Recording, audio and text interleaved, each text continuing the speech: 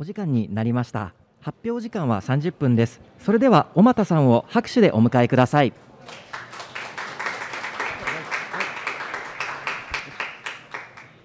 じゃあはい、よろしくお願いします。えっ、と Python で始める地理空間情報ということで、えっ、と小俣が紹介させていただきます。えっ、と今日の発表は、えーまああの地理空間情報ってあまりまあ馴染みがない方がたくさんいらっしゃると思うので、今日の内容としてはすごくやっぱり初心者向け入門向けの内容ですので、その辺はご了承ください。えーっとはいえーっと私は普段こういった意味で地理空間情報を扱うような仕事をしています。まあえーっとまあ、詳細は他にもこのリンクがあったのでもしご興味があれば見ていただければと思うんですけども、えーっとね、活動としてです、ね、こんなことを私やっています。えーっと参加型データ社会ということで、まあえーデータをみんなで作って、えー作りたいとか使えるような社会にしていきたいみたいな活動をやっております。普段は。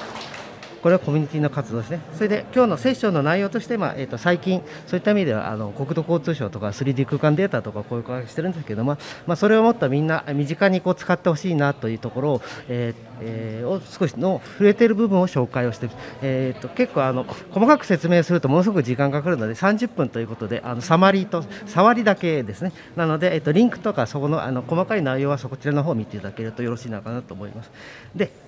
一番最初にあるのは地理空間情報よく地図とか地理とかそういうこともあるんですけど地理空間情報って何だろうなってことがあります。でこれはあの、えーとですね、これは国土地理院のホームページから持ってきたんですけど割に固くなんだか分かんないように書いてあるんですけど、まあ、要約するとですね地理空間情報って1要は緯度経度みたいな位置を持ったデータとあとそれにその位置に関連したあのメタデータとか関連付けた情報を使うことを、まあ、そうそういった意味で位置データとかそういう地理空間情報データと言っています。あと最近よく言ってるんですけどメタバースって言葉がよくあると思うんですけどもじゃあデジタルツインとメタバースって何が違うのっていうところあるんですけども、えー、と一つデジタルツイン最近のそういった意味では 3D 空間で言うとデジタルツインって何かなっていうと一つはあの原寸大の縮尺が1分の1のデータ要は何分の1でなくて、えー本当にリアルなデータということになります。でちょっとメタバースとそのデジタルツインを比べると、まあ、デジタルツインっていうのはあの実空間のデータをそのままコピーした、えー実際のデータということなのでそういった意味ではあの街のシミュレーションなんかを使ったりする。でメタバースっていうのは、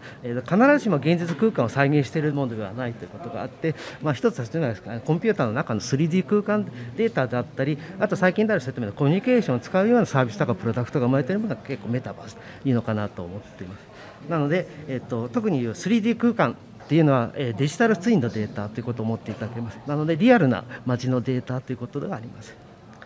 で、ここはちょっと基本的なところで、これ、昨日もあの発表されてたと思うんですけども、えーと位置情報のデータの3要素ってよくあるんですけど、えー要約をすると、このポイントとラインとポリゴンですね、点と線と、えー面で、えーこれに集まったデータが俗に言う地理空間のデータというところがあります。それとあとよく皆さん子供の頃地球儀とか見たんですけどあれ丸いですよね。実際の地球ってそんな実は丸くはなくてよく表現されるのがじゃがいもに表現されるんですね。要は表面はゴツゴツして起伏があったりっていうのと,、えー、と真球ではない。っていうとデータです。でこれをちょっと輪切りにしたりしたこの横みたいなやつでこんな感じで結構いびつな形をしているんですね。それを緯度経度で表現していこうっていうと結構なかなか無理が出てくるようなことがあるってことをちょっと考えていただければでそこで出てきたのが、えー、とこの地理空間データというか必ずこう迷うとこが出てくる。これね測地形と座標系って言葉がですで大体これなんだろうなって。要はあの新旧ではないデータを使う上でやっぱりどうしてもそういった意味では緯度経度みたいなとか座標をつけていこうっていうといろいろ、えーなんか歪みが出てくる。なのでこの測地形という考え方要は測地形って何かというと緯度経度を表現するときにこういうこういう前提で、えー表現をしてますってことを表現したのが俗に測地形って要は、えーよくあんだけど地球の中心っていうのどこが中心かわからないので、えー新球であれば1個決まると思うんですけどああいういびつなじゃがいもみたいなところと本当の重心地っていうのが、えー結構こうずれたりするっていうところがあるのでそこはどういう前提で測ってますってことを出すのが測地形であと座標系っていうのは実際にその原点を、えどこに持っていくかとかあとはその座標の単位は、え結構出てくるのはメートルであるのか緯度経度の何度であるかとかそういったところをするのが測地形と座標系なのでそういった意味ではこれ地理空間系のデータを使うときに結構ここら辺を意識してもらうと、え迷わないのかなってことがあります。それとあと地図地図を表現するときにあと図法投影法っていうのがあります。でこれなんでこんないっぱいあるのかなっていうと、えー結局、えーどうしてもいびつなじゃがいもをあの平たい紙の平面にしていこうといろんなとこやっぱりこうズレが出てくる。なのでそこでそその時に、まあ、どこを諦めてどこをあのえー中心に見るかってこといろんな地図はこういった性質で見たり投影法で見たりするっていう。で一番わかりやすいのは結構国連のこの旗の真ん中の地図がこれもあの、えー、と正距方位図法っていう要はこれは、えー、と正距なので距離が各点から各点の距離が正しくてなおかつ、えー一番下のそういう、えー、と方位図法なので地球の平面に上から平面を見た図みたいなところですね。なので結構だからそういった意味地理空間データ使うときにここら辺の意識も必要で面積がこの、えー、と地図が面積が等しいのか距離が等しいのか、えー、と方向が等しいのか。よく船とか飛行機だとやっぱ方向が大切だったりの方向が正しい、えー地図でなきゃいけないかつ距離もやっぱり正しくないみたいなそんなところがあるので実は地理空間データを分析するっていうところで言うとあのよくある Google マップというよりはこういったところの図法を、えー用いたものを表現したりすることが多いです。でここら辺流してると大体30分で絶対終わらないのでこれはあのリンクを貼っといたので皆さんここら辺を、えー見て、えーいただけるともう少し詳しいところあるのかなと思います。で一番下はこれ最近あの地理の先生地理って高校のあの地理の先生で集まって、えー、とこんな、えーと地理えーと地理の教材サイトと共有サイトって先生たちが作ってるんですね。これなんか高校生向けのやっぱり学習用のデータっていうかそういう学校のデータとして使えるようなデータを全部やってる。こういったものは初心者としてはすごく、えー分かりやすいのかななと思っているので、まあ、この辺りを見ていただけるとよろしいかなと思います。で早速まあ前段が終わってですねえーとですねまずそういう意味ではまず最初にまあ簡単にじゃあマップをまあ実際に表示してみようかなということでちょっと今日は用意していたのは、えー、と今日は一番簡単に出せそうだなということで、えーどちらかというと、えー Google コラボレトリーで、えー出すような地図ってどんなのがいいかなということであのギーマップとリーフマップっていうのをちょっとご紹介をしたいと思います。でギーマップとリーフマップって要はあのインタラクティブにできるそういうあの、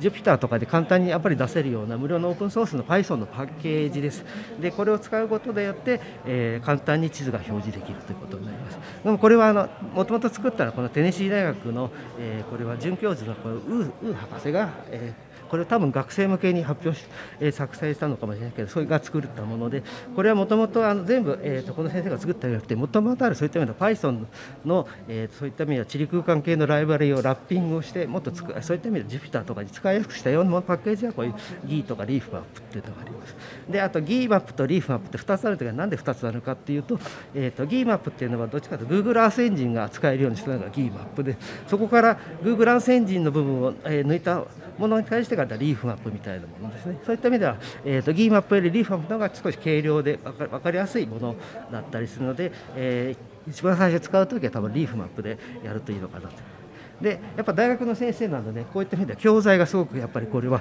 豊富に揃っています。でギーマップもこれは、えっとねえっと YouTube でちゃんとあの、えー説明がありつつドキュメントもしっかりしているっていうのとあとサンプルコードもふんだんにあるということ。ででこれのチュートリア結構ねチュートリアいっぱいあるので大変なんですけどこれをやると最初にそういった意味では、えー地理空間でそ地図を出すようなものがすごく便利なのかなと思います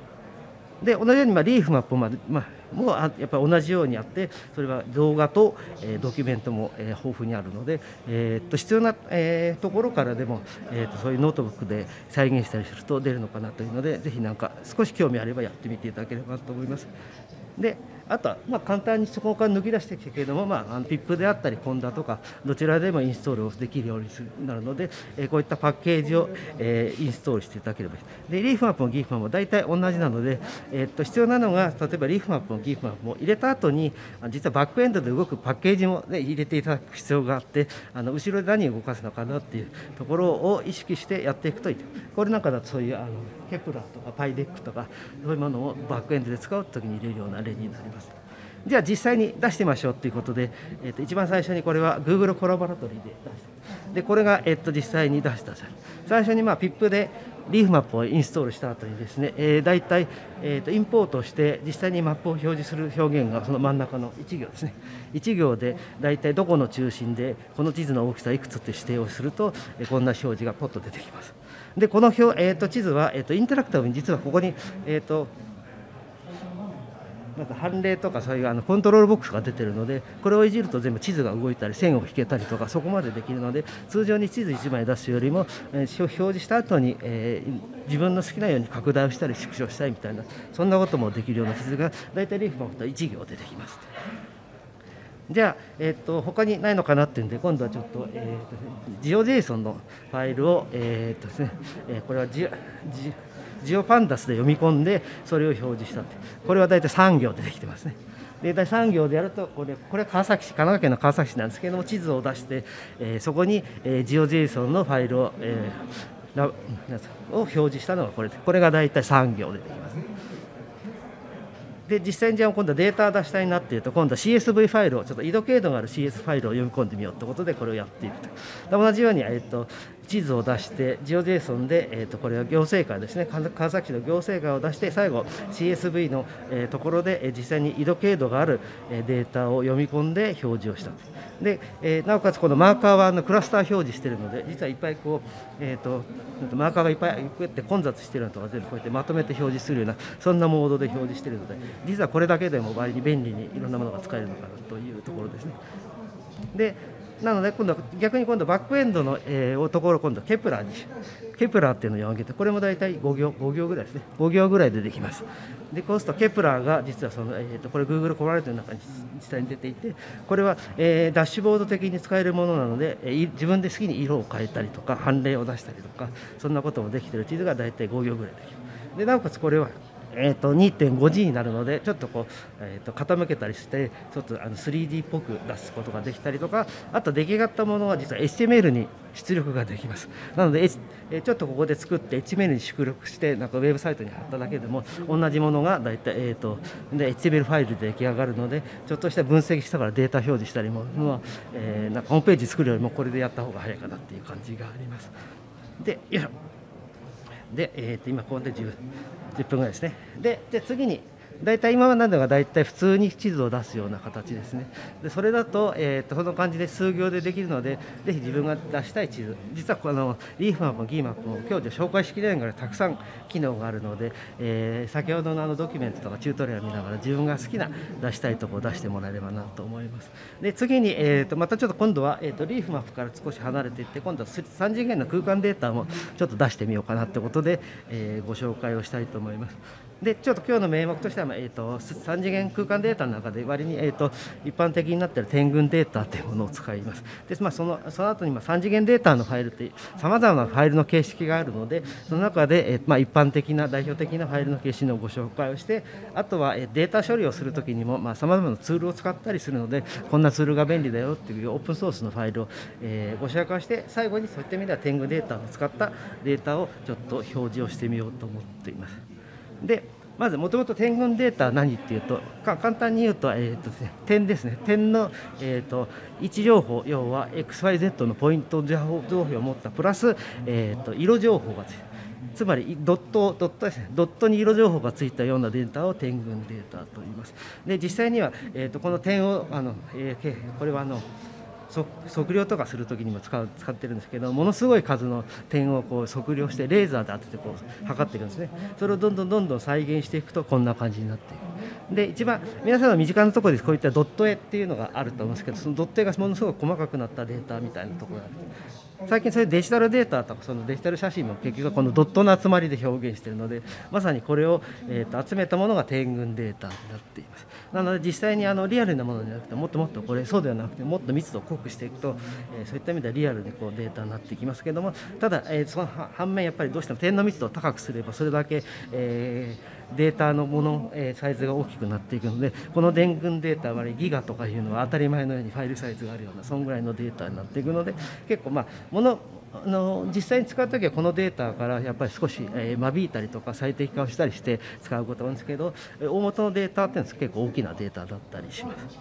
であともう一つやっぱりそういうドット絵だとデータとして使いにくいのでそこでまたちょっと変換をしてあのメッシュ形式に変換をしてデータ処理とかする、まあ、メッシュ形式っていうのは三角形のポリゴンみたいな形ですね。あのドット絵からそういう3次元のポリゴンメッシュをやったりとか文字とかテクスチャを貼ったりして実際にあとはあの3次元のモデルにしたりしてそこであの例えば、えーそうですねあのデータ処理をしたりあとはえー加工をしたりみたいなのがどっちかというとメッシュ形式に変換してやることが多いんですけど、えー大元としては点群データであったりすることが多いです。よいしょ。よいしょ。で,、えー、とでここで、えーとですね、よくあるあのこの3次元データだと結構迷うのがいろんな形式があります。で代表的なところで言うと、えー、とまず天群データのラス形式っていうこれはあの、え、国とか自治体が出している3次元のデータはラス形式のものが多いのでラス形式ってデータ。あとあの、え、PLY 方式っていうポリゴンファイルフォーマットでこの、えー、とラスデータっていうのは割にサポートしているツールが結構あの、えーえー、あんまりこう広くサポートしていないのでよくあるのがそのラスから、えー、と PLI に変換をしたりしてそこから、えー、と他のところに持っていって、まあ、STL とこ下のそういうメッシュデータの OBJ とかそこら辺に変換をして使ったりすることがします。であと、えー、ちょっと LAZ ってラスデータの、えー、これは圧縮したデータなんですね要は天群データ先ほどみたいにあのすごく大きなデータなのでそれを圧縮した形式がラズ形式って言われます。であと、え注意しなきゃいけないのはラスのか、えー、ラズに関しては実際の中を見るとテキスト形式とバイナリー形式があります。要はテキストで実際に本当に XYZ の座標が書いて色が書いてあるって形式のファイルと、えー、そういうバイナリーになっているのでヘッダー以外が全部バイナリーデータになって少しでもちょっと小さくしようみたいなのがあってるのでこれをちょっと使うときに、えーと、少し意識してあげると迷わないのかなと思っています。で実際に例えば、えーと、先ほど言ったようにこう点群データラス形式だったらば、えー、結構ポリゴンに変換したいなっていう時は、えー、よくあるのはラスからこの PLY 形式に変換してこれをさまざまなツールに持ってって、えーと、メッシュデータに変換したりすることが多いので、まあえー、そういった意味ではラスでいろいろ加工しようとするよりはラスで少しこう、えー、なんだナオマライズとか修正をして PLY で持っていくみたいなことをやっていくといいのかなと思ってます。でそんな時にこう、えー、便利なやっぱりオープンソースのファイルっていうかツール群があります。なので、えーと、この辺りが割に、えーとえ、使っているツール割に有名なところです。最初あのクラウドコンペアっていうのはこれは点群ファイル用の、え、ファイルをこうし、え加工したりあの修正しているようなツールで、まあ、このオープンソースのソフトウェアなんですけれども大量にデータを実は変換したりこれを使ったりするときにこの、えーと、クラウドコンペアはコマンドラインのツールにもなっているのでコマンドラインから大量になんか変換したり加工するのはこういったクラウドコンペアがすごく便利なのかなと。あともう一つはメッシュラブっていうのは、どっちかとこれは天群のサポートしてるけど、どっちかとメッシュデータ、先ほどのメッシュデータの加工なんかはこうやってメッシュラブみたいなのを使うと、いろんな加工ができたりしています。で、あと下の3つはどっちかっていうと、ソフトウェアライブラリなので、あのファイえーと、ポイントクラウドライブはどっちかっていうと C++ 用の、えー、ライブラリであっても、Python のラップも確かあります。であとは、えーと表示とかさせんなこのオープン 3D とかオープン CV みたいな、えー、ライブラリを使って、えー、表示をしたり加工をしたりします。で で実際にちょっと1個、えー、何個か持ってきました。でこれがあの PLY 形式最初のラス形式から PLY にしてこれオープン 3D とマッププロットリブで、えーと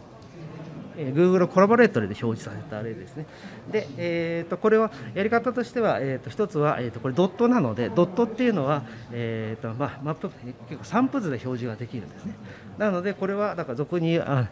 マッププロットリブで散布図を使って、えー、ドット絵を出したのがこんな形になります。これを使うと Google コラレーターで表示ができたりします。で、なんでこんなことをしているかというと、実は Open3D とかに実は、えーと、3D の表示用の、えー、関数とかもあるんですけれども、えーと、これがあの Jupyter ノートブックで出るんですけど、実は Google コラボレーターでは出せなかったりするので、その時はこういう Matplotlib を使うといいのかな。えーと、これはあの Google コラボレートリーがあの、えー、とサポートされていないのが、ここら辺の表示って別ウィンドウを表示して、あの表示をするみたいなツールが多くてその、えー、と動きがやっぱりね Google コロレーでできないので、えー、もしうまくインライン表示ができると多分いくのかなっていうところがあるんですけどもちょっと、えー、こういった、えー、ところをまあ、コツとしては、えー、Google Colab と Jupyter Notebook で、えー、使う関数が多分変わってくると思います。先ほどなので、えー、もし、えー、Google コラボレートリーを出すときはこういったちょっと工夫をしてあげる必要があるので、その時は例えば Jupyter ノートブックでやってみるみたいなところちょっとツールを選んであげるといいのかなと思います。で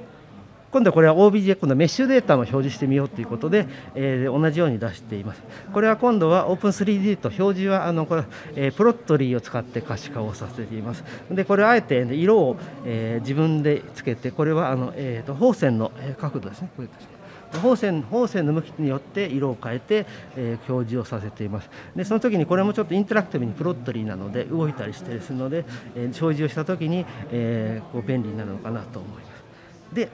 でここら辺も細かく話をしていると多分時間がなくなっちゃうので、えー、今日までに書いておこうと思って8回目で一生懸命書いたんですけどとてもじゃない人今日書ききれなかったので、えー、とまたちょっと合間を見てしこしこ書いていくので、えーとえーと、今日の資料とあとハック MD を、見ていただくと割に、えーと、いろんなところが分かるんじゃないかなということで、えーと、今日はちょっとこのぐらいの説明にして、まあ、最初ね、リンク先のご紹介をしてきたみたいなんですけども、まあ、そこを見ていただけるとよろしいかなと思います。で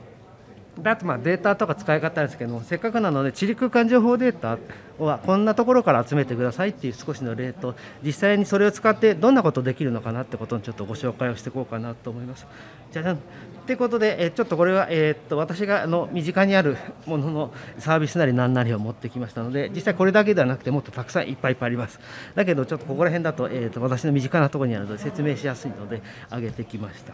でまずあのこれ皆さん、えー、多分地理空間情報っていうかそういったプラットとか使うと聞いたことあるんですけどこの G 空間情報センターっていうのがあります、えーと、これは、えー、今、えー、三官学で日本中に日本中にあるですねあの位置データ要地理空間データを全部集めようとやってるプロジェクトで、えーと、この中にデータセット、まあえー、今だと、えー7800ぐらいのそういう地理空間系のデータが集まったりあとはここの中に、え、入ってなくてリンクだけのも当然あります。だからデータがあるものとリンクもあるのとあとこれ、えーと、民間のデータもあります。民間のデータは、え、有料であったりするので、え、無料と有料そういったものもありますけれどもその中で、えーと、できるだけここに集めここの時間情報センターに行けば、え、それなりのやっぱりこう、え、位置情報みたいなデータが、えー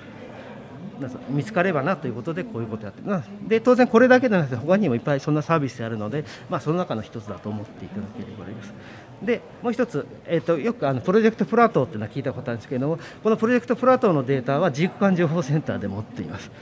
なので、えーと、入り口としては、えーと、プラトー側が、まあ、プラントで持ってるんですけどもデータとしては軸眼情報センターが持っているというところですね。で実際にこのプラトーのデータっていうのはもともとこのプラトー用に作ったデータなくてこれ実はもともと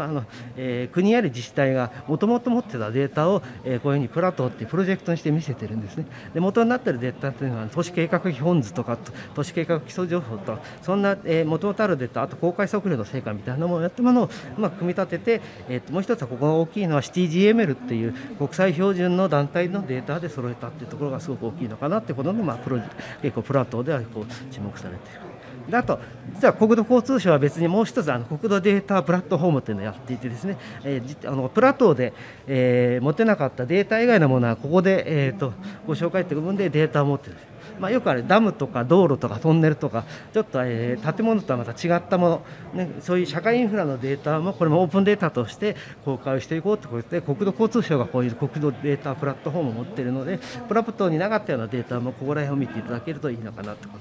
と。あとあとマイシティコンストラクションってこれも一つのサービスなんですけどもともとそういった意味では、えー、土木工事をしている人たちって実はあの、えー、工事の報告に電子納品ってもともとデジタルデータとして納品をしているんですけれどもそれがなかなかやっぱり国民の皆さんに届いていないということでこれをまさに納品の時点から、えー、そういう点群データとか UAV のデータをデジタルで取ってそれを、えー納品をしてくださいみたいな動きをやっています。でこれも全部の自治体がやってるわけではなくて、まあ、一部の自治体なんですけども、そういった動きをやって、まあ、このデデータもあの、えー、逐次そういうオープンデータになって、実感情報センターから検索できるような可能なので、えーと、そういった意味では、えーと、そうです橋とか道路のデータみたいなここからも見つけることができるのかもしれないですね。で、えー、とこれは、えー、とデータというより一つの利活用のところもあるんですけど、 My City Forecast ってなって、これは何をやってるかっていうと、えー、と将来の人口の推計をやっています。えー、そうですね、えー、とこの、えー、このサービス自体、今、2015年から2040年の、えー、と各地域の世帯のと人口の数を予測をしているこれはだから予測をしているので、えー、実際のリアルなデータとはちょっとずれたりしているところがあるんですけども、えーと、自治体単位ではなくて、えーと、国国税調査でいう小地域単位での人口の、えー、予測をしているデータです。でこれはちょっと残念ながらまだオープンにはなっていないんですけども将来的にはこの予測をしたデータを、え、何らかの形で、えーと、皆さんが使えるような形にしていこうかなと思っているのでこれはなんかもう少しお待ちくださいというところですね。であと実際にこうあとデータのこれ利活用になるんですけどもこういったデジタルシティサービスというのもこれもちょっとあのアイジトっていう一般社団法人、まあ、技術間情報データが運営しているところがやってるんですけどこれ自治体の皆さんからデータをもらったものをちょっとまあそういった可視化みたいなことをやっています。これもそういった意味では地理空間情報の活利活用ですね、えー、先ほどのプラトーじゃないですけど自治体の方ってやっぱいろんなデータを持っているのでそういったものをこの、えーと、一元的に見るようなサービスであったりとか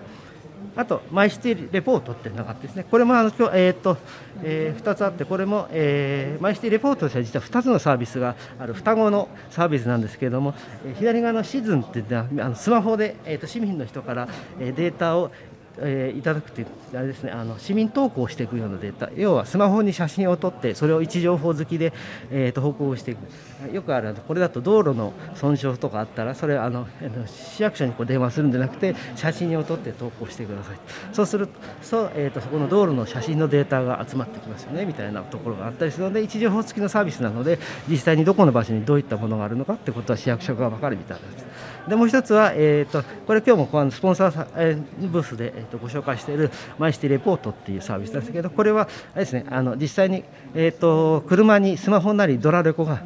まあ、ドラレコでもですねあってそこから写真をどんどんどんどん撮っていく。で特にこれ自治体の方に、えー、お願いをしてるんですけどそういった意味ではもともとそういった公用車だったりゴミの配送車とかそういうところにこういうものをつけていくとどんどん町の道路データが集まってくるのでそれをもって道路の管理をみたいにしようなサービスですね。えー、よいしょで、えっと、まとめていきます。で、えーと、まとめとしては、まあ、こういった地理空間情報データずいぶん身近になってきたのでぜひ皆さんそのアイデア、まあ、データを集めていろんなアイデアであなんか、えー、いろんなサービスをしてくださいということと結構この地理空間情報の利活用の促進ってすごく望まれているので皆さんのアイデア一つ何かやっていただければなと思います。でよいしょ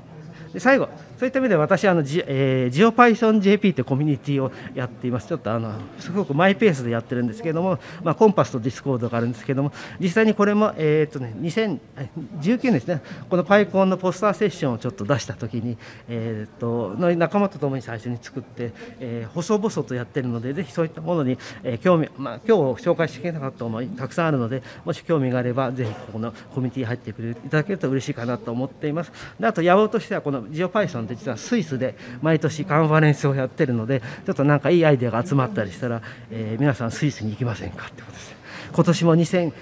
えー、6月ですね。6月にスイスでやってるのでなんかネタ作ってスイスに、えー、そういうジオデータとか地理空間情報データのアイデアで作ってい、えー、くっていうのも一つ面白いかなと思っています。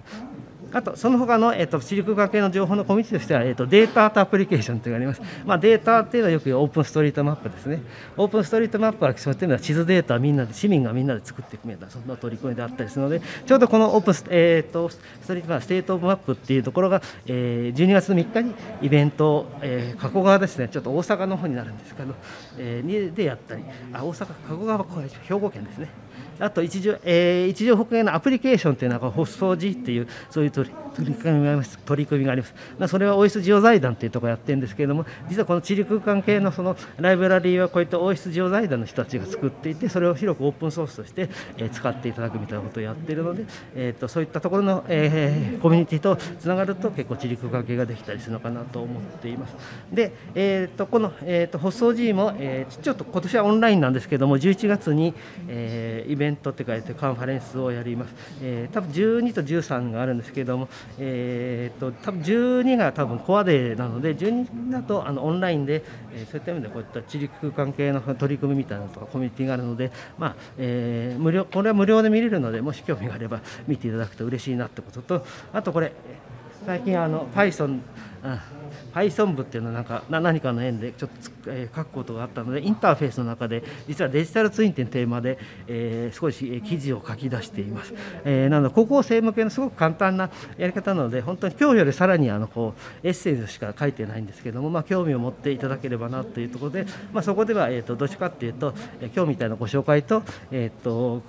そうですねあのライダーとかそういうスマホを使って 3D 使うみたいなそんなことをやってたりするのでどっかで立ち読みしてみていただけるとよろしいかなと思います。であとあと、えー、とごめんなさい、であと今日、今日ブースあるんですけれども、えー、この先ほどのマイシティレポートみたいな、AI を使って道路情報の分析をしているようなサポートをやっているのが、そのサービスでアーバン X, X っていう会社なんですけども、まあ、そこでは今、ちょっと、えー、募集をしているので、何か興味がある方いったら、ぜひ、えー、ちょっとそこのブースか何かでこう、ブースですね、に聞いてみてください。特に機械学習とか画像処理みたいな、実はそういう地理空間系の、えー、情報を使うには、やっぱり機械学習とか画像処理みたいなのを使ったりするので、実は AI が地理空間以外にもやっぱりそういった意味では強みがあるのかなと思ってます。で終わりです。で最後にあなんか小さい。えっ、ー、とそんなあの気持ちが小さいわけじゃないですけど。明日スプリントを、えー、ちょっと申し込みした明日のテーマは CityGML の変換ツールっていうところですね。先ほどのプラトーのデータって CityGML なんですけどもそれがものすごくやっぱりあのデータを使う上でフォーマット変換しないと使えなかったりするのでちょっとみんなで、えー、変換するツールを作ってみませんかっていうところでやりますのでよろしくお願いします。私の方が以上です。はい。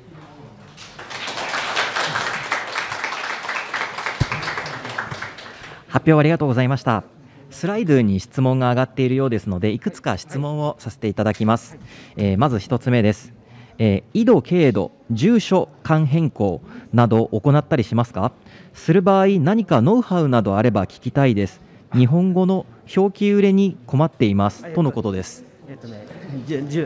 それジオコーディングっていう言葉があるんですけどもまさに今そこは、えーえー、実はすごく課題になっていて、えーと、まず、えー、緯度経度から住所に変換するとき日本の住所ってやっぱりいろいろ歴史があってやっぱりあの表記揺れは人が入れてるのでそういった意味ではあの、え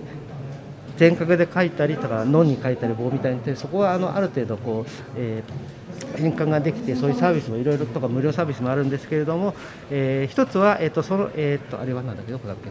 で、えー、サービスとしてはあのその緯度経度から変換する例えば東大でもそういった無料の変換サービスをやっていたりとかあと国も、えーと、GitHub で住所から、えー、緯度経度から住所を変換するようなサービスみたいなものをやっているのでちょっとそこを、えー、ググってみていただければそれを使っていただければいいと思うんですけどただ残念ながら完璧な変換ツールはまだ、えーと、ありませんというところですね。はい、はい、ありがとうございます。では続いての質問です、えー、点群データのような3次元データの描画は結構処理が重そうですが GPU がついている CP PC を使う必要がありますか？とのことです、えーとね、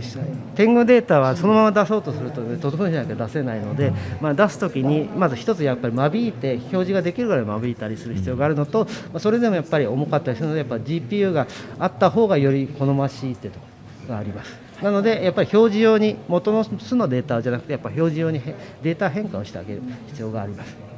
はい、ありがとうございます。えー、続いては感想になります。えー、スイス行きたいだそうです。ぜひ行きましょう。みんなで行きましょう。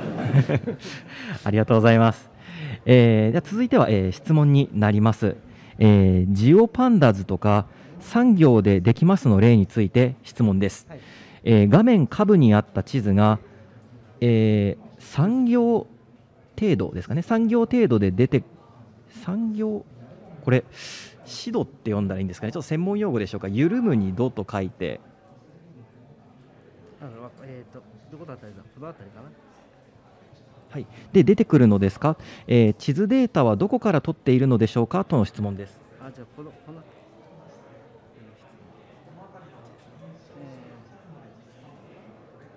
産業程度、えっ、と、これですね、ここのこの辺りですね。ジオパンダス。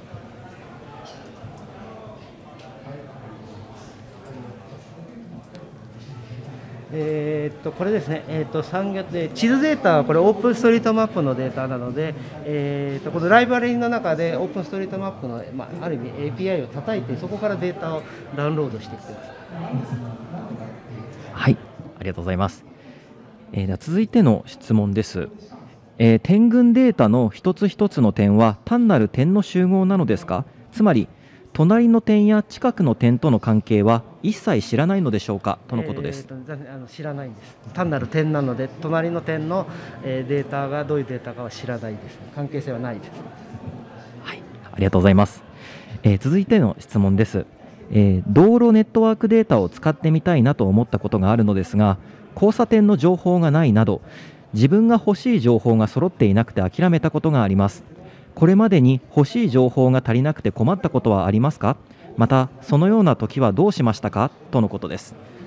えーと、困ることはたくさんあってですね実はこの地理空間データって無料と有料のデータがあります。で道路ネットワークのデータっていうのは実はあの、えーえー、DRM っていうあの、えー、データがあるんですけどもこれがものすごく高くてですね多分一般には買えなかったりするデータだったりするのでそういった意味では企業さんだと,、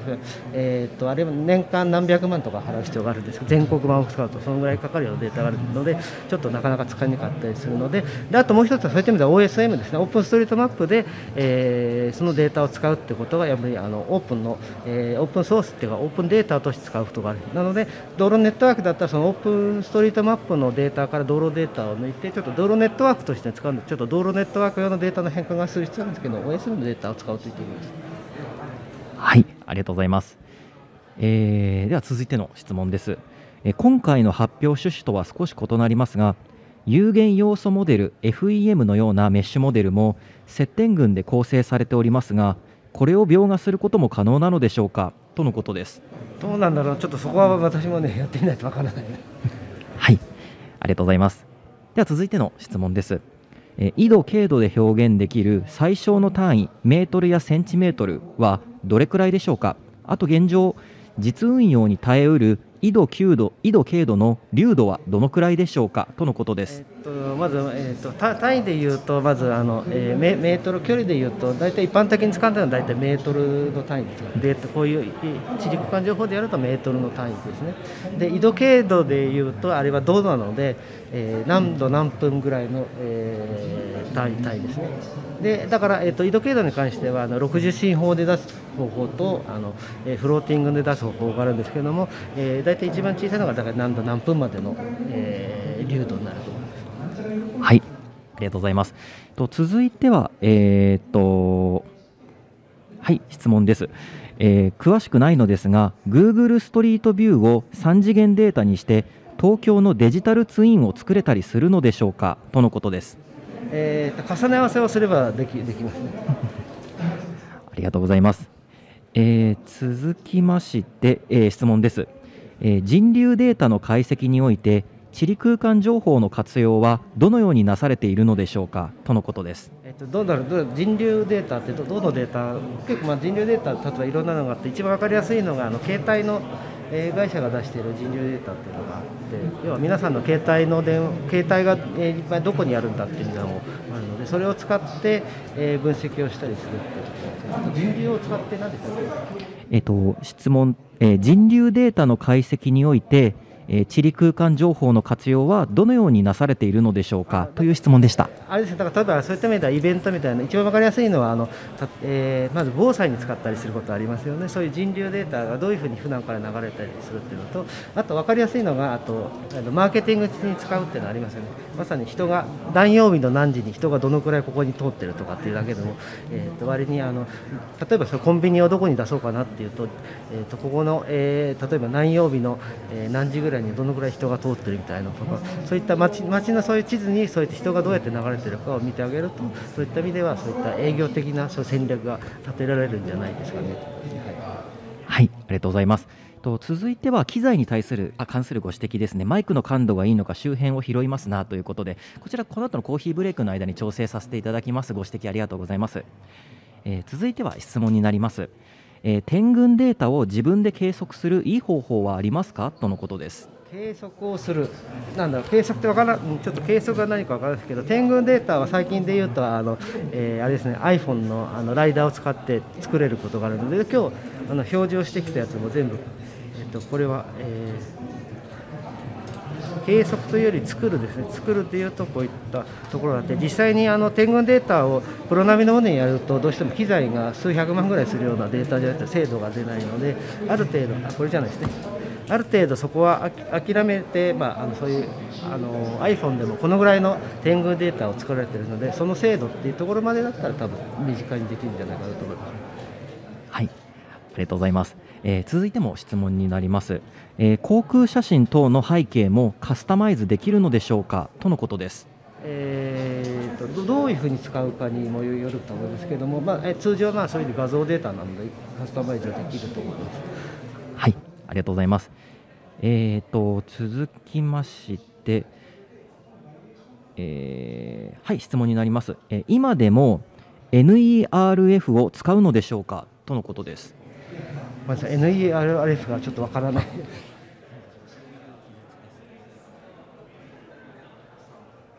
ごめんなさい、不勉強でごめんなさい、NERF が何かがわからないですね、ごめんなさい。はい、ありがとうございます。承知いたしました。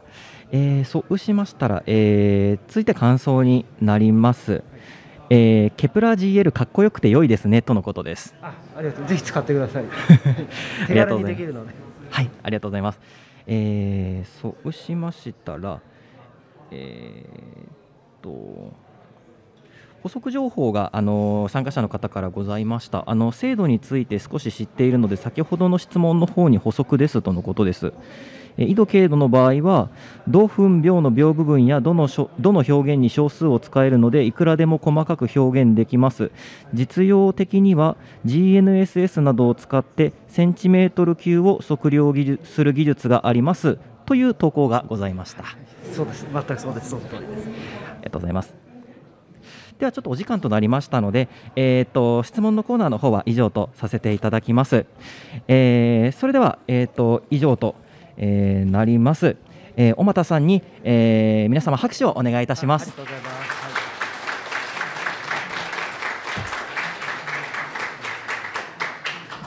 では質問がある方また直接お話ししたい方は廊下ホワイエでお話しすることができます。スピーカーも移動いたしますので壇上周りには集まらないようご協力をお願いいたします。またパーティー参加者向けのアナウンスですが、え受付が開始されております。受付に抗原検査キットがございますので必ず行っていただきますようよろしくお願いいたします。またスポンサーによるブースがございますのでこちらもぜひ訪れてみてください。以上となります。ありがとうございました